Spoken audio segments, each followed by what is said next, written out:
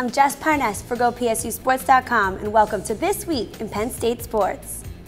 On Saturday, wearing specially designed camo jerseys, the Penn State baseball team rolled to a 22-5 victory in the first ever Wounded Warrior game at Medlar Field at Lubrano Park. With proceeds going to local Wounded Warrior and PSU ability athlete Chris Swales, redshirt senior Mike Wanamaker pitched 7.2 strong innings for his third win of the season. On Sunday afternoon, the Nittany Lions wrapped up one of its best weekends in recent memory by topping Michigan State 9-1 for its fifth straight Big Ten win. The Spartans came into the series with a 28-11 overall record.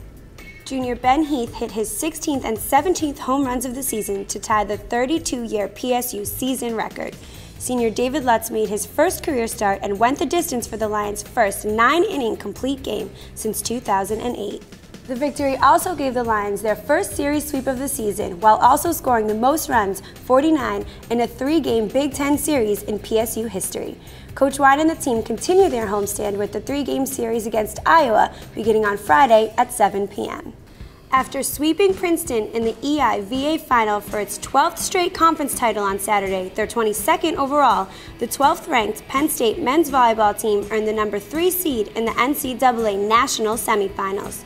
The Nittany Lions will take on the number 2 seed, Cal State Northridge, on Thursday, May 6th at 6 p.m. Pacific Time, 9 p.m. Eastern Time at Stanford's Maples Pavilion. Penn State's match will be broadcast live on ESPN2 and ESPNU with the simulcast on ESPN360.com. It can also be heard on the web at GoPSUSports.com and in the State College area on WRSC FM 103.1. The national championship will also be broadcast live on ESPN with the simulcast on ESPN360.com.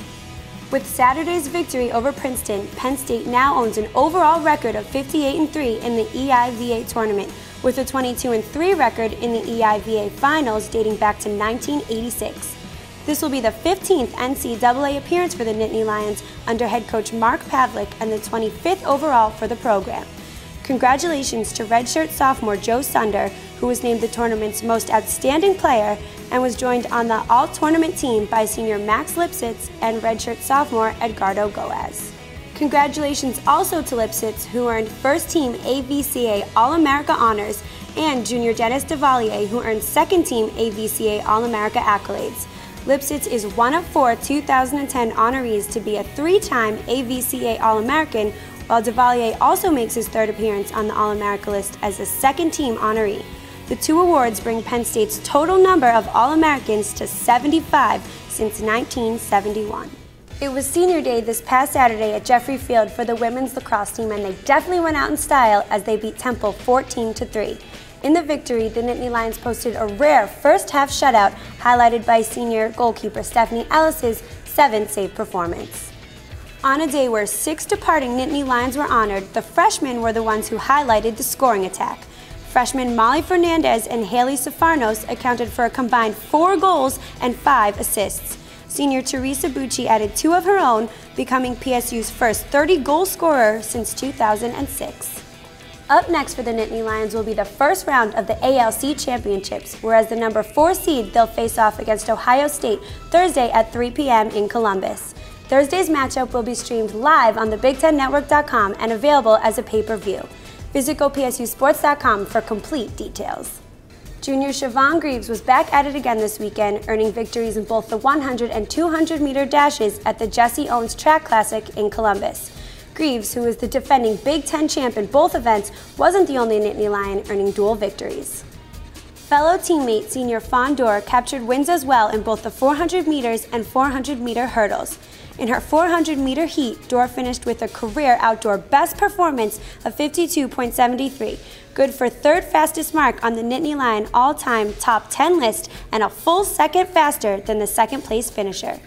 In the field, junior Blake Eaton highlighted the Nittany Lions' effort with a second place finish in the shot put.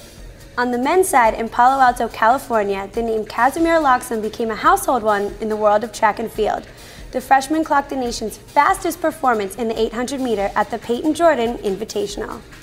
Loxsom, who already recorded the fastest split in the 4x800 relay at the Penn Relays last weekend, put up an astounding 146.74 this weekend in Stanford. Loxsom's performance is a top 10 mark in the world this year and third fastest in the PSU record books. This week in Penn State Sports, we'll be back in a second after this brief message. Now's the time to make plans for your son or daughter to attend one of Penn State's summer sports camps. What a terrific experience to come to Happy Valley and learn from the very best collegiate coaches in the nation. More than 27 different sports camps offered throughout the summer, so jump online and find the week that works for you. From football to fencing and softball to soccer, check out all the details for Penn State summer sports camps today at gopsusports.com.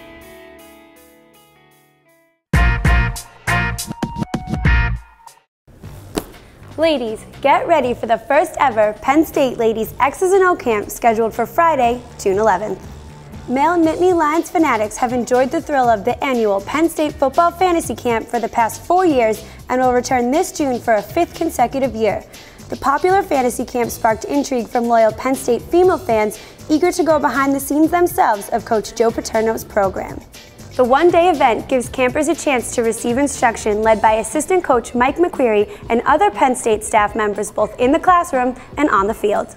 The day will culminate in a blue and white flag football game played on the hollowed field inside Beaver Stadium.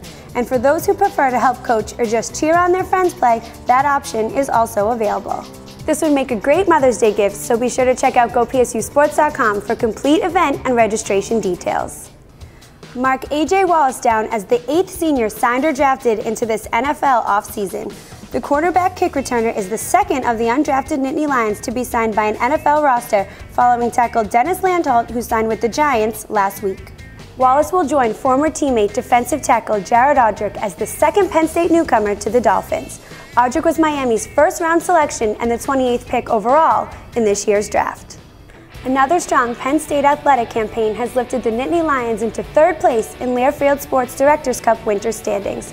Seven Nittany Lion squads earned points in their respective NCAA championships during the winter season.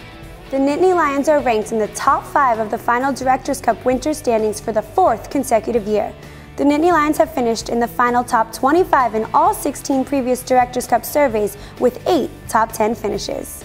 And fans, with Mother's Day just around the corner, remember that you can get all your Penn State gear needs by shopping online at gopsusports.com. So whether you're looking to get mom the 2010 official whiteout tee or blow her away with this year's Penn State Ladies Football X's and O's camp, we've got you covered. And finally, today we want to take a moment and congratulate everyone who was involved in making the inaugural Beaver Stadium 5K Run Family Walk to benefit Special Olympics of Pennsylvania such a huge success. Over $35,000 was raised by over 800 runners and walkers in what's sure to become a new blue and white weekend tradition. In Special Olympics Hall of Fame member Sue Paterno's words, it went beyond our expectations. Thanks for joining us today. For GoPSUSports.com, I'm Jess Parness.